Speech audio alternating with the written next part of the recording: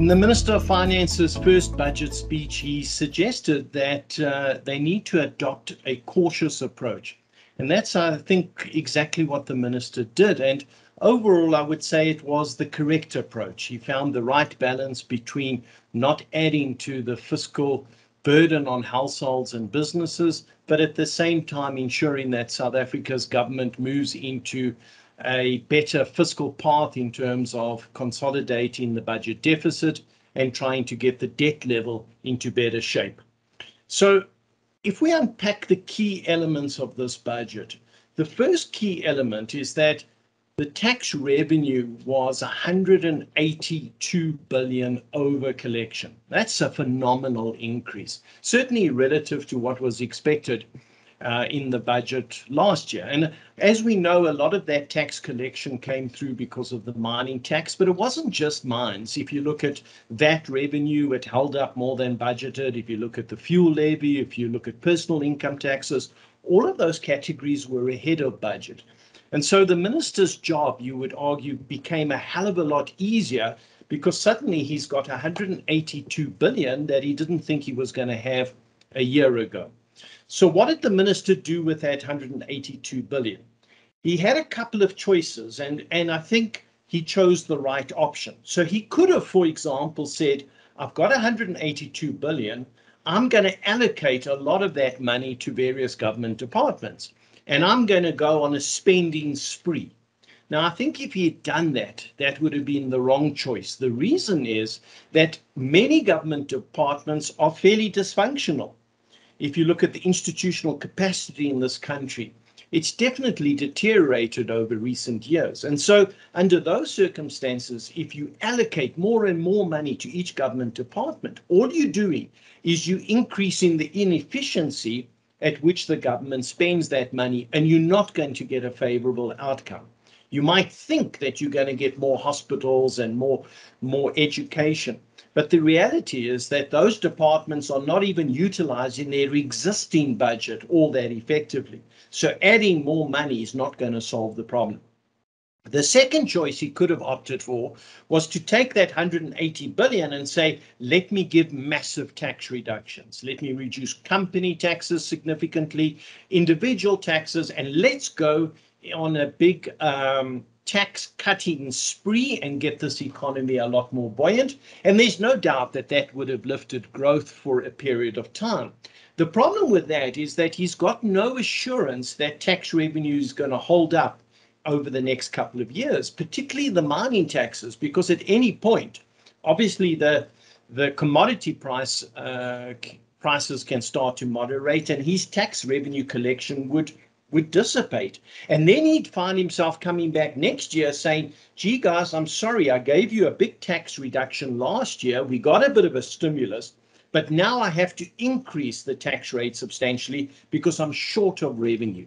And that fluctuation uh, would certainly unsettle businesses, unsettle confidence, and really cause quite a lot of um, upheaval in the economy. Not a good choice. You only really cut tax revenue significantly if you're fairly assured that going forward, your tax revenue is going to be able to hold up.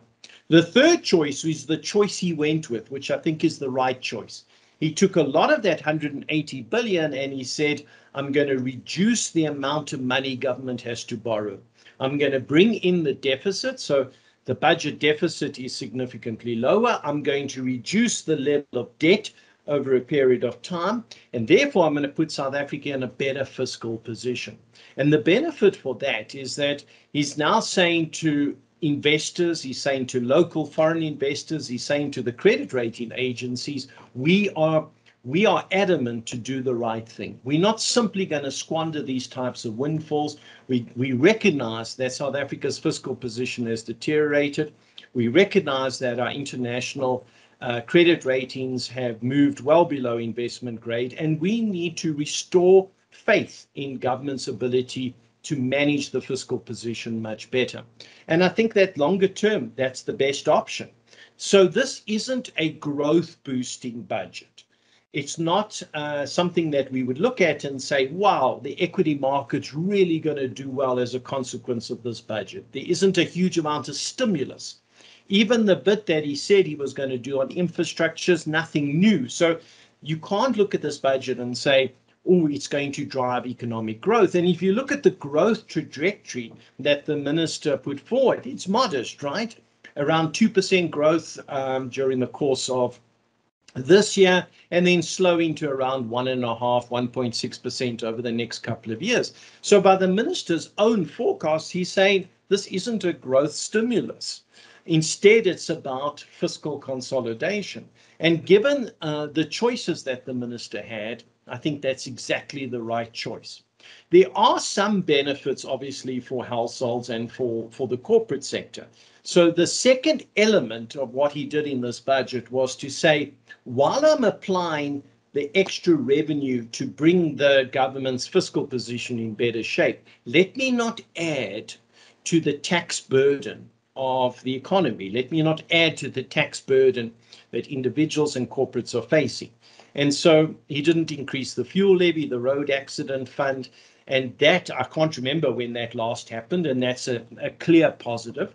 And the other positive was he said, I'm going to compensate individuals and households for the full effect of fiscal drag or bracket creep. In other words, as inflation uh, is around, you move up into higher tax brackets, and you naturally then just pay more tax revenue uh, and so you find yourself kind of effectively worse off, even though uh, you haven't really earned significantly more money. It's just the negative effect of inflation.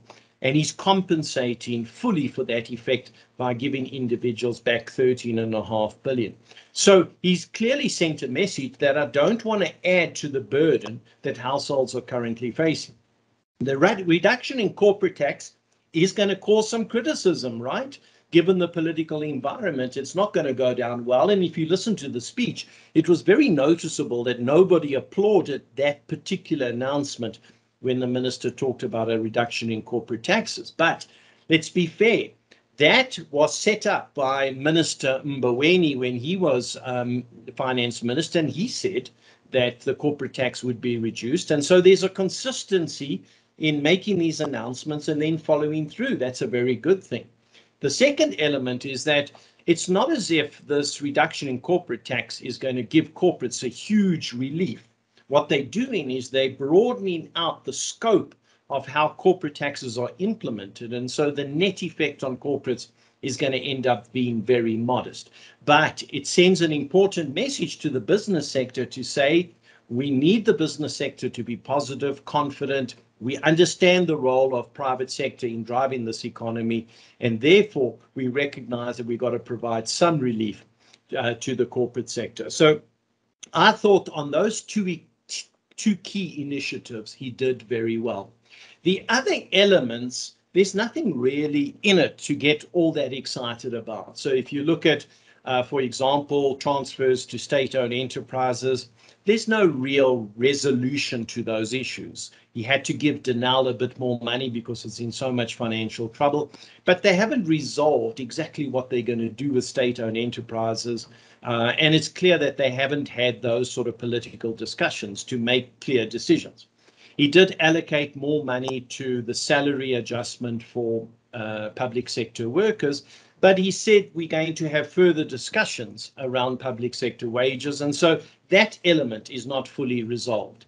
He didn't extend uh, any additional social grants beyond the, the 350 Rand uh, distress grant uh, that was announced at the state, state of the nation address. But it's no, there's no doubt that that issue hasn't gone away and that government's going to have to revisit uh, this idea of a basic income grant. So there are a number of key issues which I would say remain unresolved and are going to continue to be debated. And you probably would have wanted to see more resolution to those issues in this budget. Uh, but I think from a political point of view, clearly they're not in a position to make those types of choices. So overall, I would say this budget is is positive for the bond market. It's positive for foreign investors. It's positive for credit rating agencies. It's kind of neutral for the equity market. I don't think the equity market's going to get too excited by the content in this. But I think more important than all of that, it uh, puts South Africa on a better path in terms of fiscal discipline. The last thing I just want to mention is around the credit rating agencies. Because the debt is, is looking much more favorable now, are the credit rating agencies suddenly going to revise South Africa's credit rating significantly higher? And the answer, unfortunately, is no. They tend to be very conservative on increasing uh, your credit rating. They're very quick to reduce your credit rating, but in order to increase your credit rating, it takes time, and they have to be convinced that the policy measures you're introducing are actually going to be implemented. Obviously, there's still some risks to this fiscal discipline path. The key risk is that the social grant payments may escalate further and disrupt government's ability to maintain fiscal discipline. There's also the issue around government salaries, and potentially government can't adhere to um, a very low salary adjustment. And so the rating agencies would wait to see whether those types of initiatives can be bedded down much more comprehensively. But it is possible that over the next couple of years, if we continue on this path of fiscal consolidation, that we can then expect credit rating upgrades. It also means that I am expecting that the rand can hold on to current levels. The rand, I think, has done reasonably well. It's around fair value. And I think that certainly foreign investors listening to this budget will be encouraged by the type of return they can get out of South Africa's bond market, uh, given that the borrowing requirement from government is is moving lower. So that's all from my side. Hope that makes some sense. We'll chat again soon.